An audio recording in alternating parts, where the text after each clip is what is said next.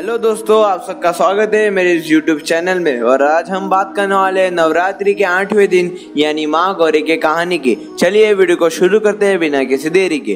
कहा जाता है कि भगवान शिव को पति के रूप में प्राप्त करने के लिए इन्होंने कठोर तपस्या की थी, जिससे इनका शरीर काला पड़ गया।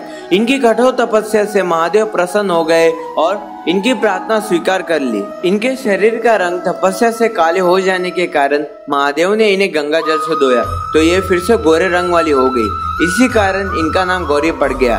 कहा यह जाता है कि अष्टमी के दिन व्रत रखने से भक्तों को उनका मन चाह जीवन साथी मिलता है। माँ गौरी की एक अन्य कथा भी प्रचलित है। इसके अनुसार जब माँ उमा जंगल में तपस्या कर रही थी, तभी एक शेर वन में भूखा घूम रहा था। खाने की तलाश में वहाँ पहुँचा जहाँ माँ तपस्या में लीन थी। देवी को देखकर शेर की भूख बढ़ गई और शेर उनके तपस्या पूरी करने का इंतज़ार करने लगा। इस इंतज़ार में वो काफ़ी कमज़ोर हो गया।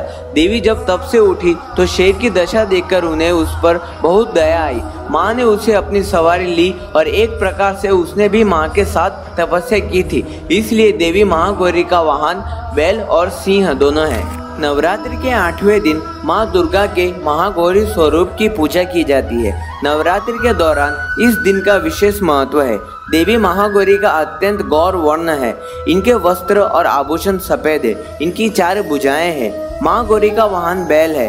देवी के दाहिने और के ऊपर वाले हाथ में अभय मुद्रा और निचले वाले हाथ में त्रिशूल है। बाएँ और के ऊपर वाले हाथ में डमरू और निचले वाले हाथ में वर्ण मुद्रा है। दोस्तों, आप सबको